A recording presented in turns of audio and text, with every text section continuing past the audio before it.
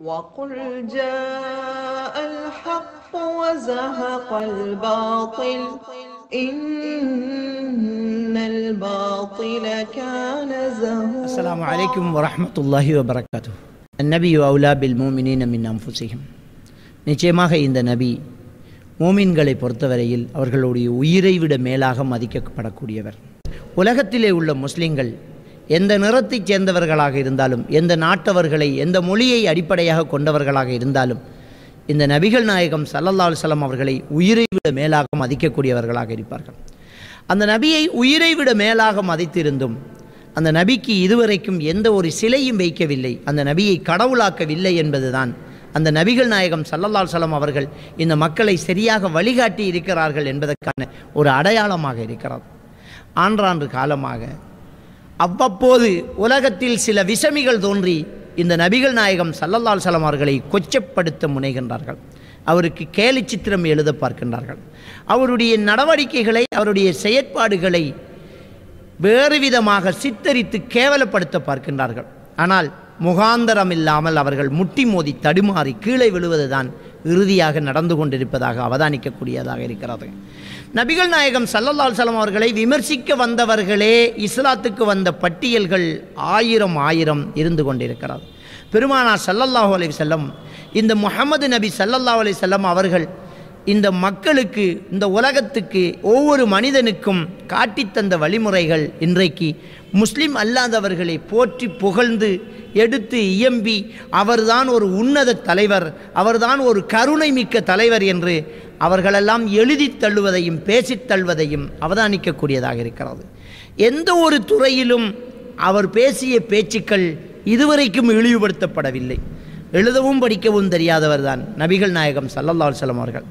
அன்பு பற்றி பேசியிருக்கிறார் உறவுகள் பற்றி பேசியிருக்கிறார் ஒரு வாழ்க்கை நெறி பற்றி பேசியிருக்கிறார் வானவியல் பற்றி பேசியிருக்கிறார் புவியியல் பற்றி பேசியிருக்கிறார் ஆழ்கடல் பற்றி பேசியிருக்கிறார் அறிவியல் பற்றி பேசியிருக்கிறார். ஒவ்வொன்றும் அவர் பேசிய வார்த்தைகளில் எதுவுமே தடுமாறாமல் இன்றைக்கும் விஞ்ஞான உலகம் வியந்து நிற்கிற அளவுக்கு அவருடைய வார்த்தைகளும் அவர் எடுத்து தந்த வகைகளும் இன்றைக்கு இருந்து கொண்டே இருக்கிறது.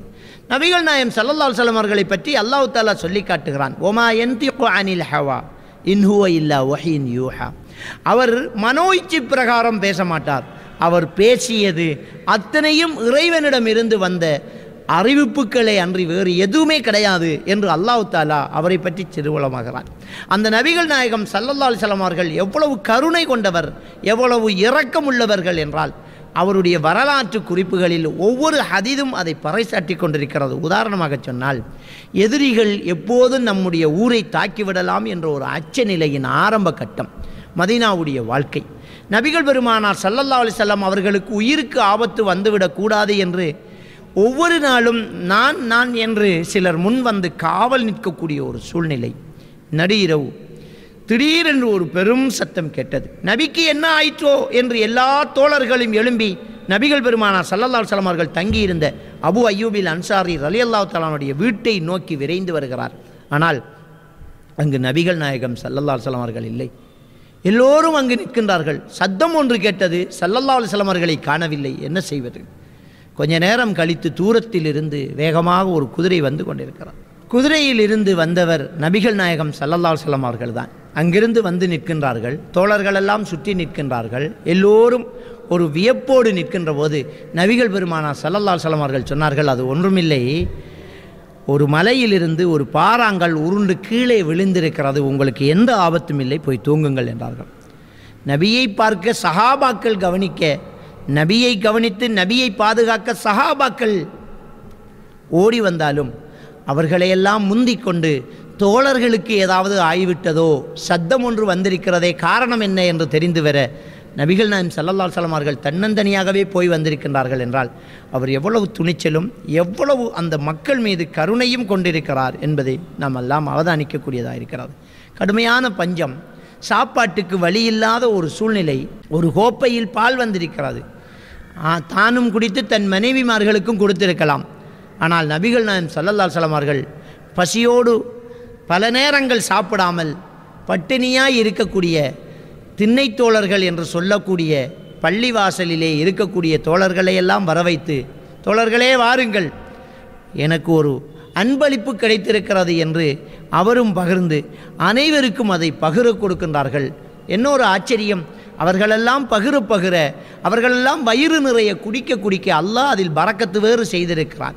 அன்புக்குரியவர்களே அந்த அளவுக்கு இரக்க குணம் உள்ளவர் பசித்திருக்கும் போதே மற்றவர்களுக்கும் பகிர்ந்து கொடுக்கும் அந்த இரக்க குணம் கொண்டவர் நபிகள் நாயகம் சல்லல்லால் சலம் அந்த சல்லல்லால் சலம் அவர்களை கிண்டல் செய்து கேலி செய்து அவர்களை கொச்சப்படுத்தி இன்றைக்கு விமர்சிக்கக்கூடியவர்களுக்கு நாசம் உண்டாகட்டுமாக.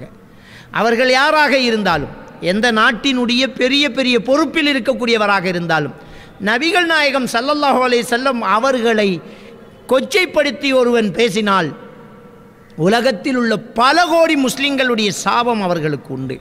அல்லாஹ்வுடைய சாபம் அவர்களுக்கு உண்டு. நாங்களெல்லாம் அதற்காக எதிர்த்து நிற்போம். உயிரை விட மேலாக மதிக்கிறோம். உயிரை விட மேலாக மதிக்கிறோம். ஏனென்றால் யார் ஒருவர் தன்னுடைய உயிரை விடவும் சொத்து சுகத்தை விடவும் அனைத்து மக்களை விடவும் அல்லாவுடைய தூதரை நேசிக்கவில்லையோ அவர் உண்மையான விசுவாசி இல்லை என்பது எங்களுடைய அடிப்படை கொள்கை. எனவே நாங்களெல்லாம் இதில் பொறுத்திருக்க மாட்டோம். கண்டிப்பாக எங்களால் முடிந்தது குறைந்தபட்சம் ஒரு சாபமாக இருந்தால் அந்த சாபத்தை தந்துவிடுவோம். அனைத்து மக்களுடைய சாபமும் உங்களை சும்மா விடாது.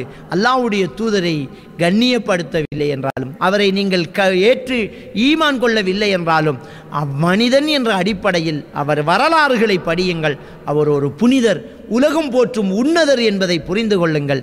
அல்லாஹ் தாலா அவரை பின்பற்றக்கூடிய பாக்கியத்தை எனக்கு தந்ததற்காக எங்கள் மூமின்களுக்கு தந்ததற்காக நாங்கள் பெருமைப்படுகிறோம். அல்லாஹ் தாலா அந்த பாக்கியத்தை இறுதி மூச்சிரிக்க வரை எங்களுக்கு உறுதியாக தர வேண்டும் அவரையே பின்பற்றி அவர் வழியிலேயே வாழ்ந்து நாளை மறுமையில் அவரோடு சொர்க்கத்தில் இருப்பதற்கு அல்லாஹ் தாலா எங்கள் அனைவருக்கும் அருள் செய்ய வேண்டும் என்று கேட்டுக்கொள்கின்றேன் அஸ்ஸலாமு அலைக்கும் வரஹ்மத்துல்லாஹி வபரகாத்துஹு وقل جاء الحق وزهق الباطل إن الباطل كان زهوقا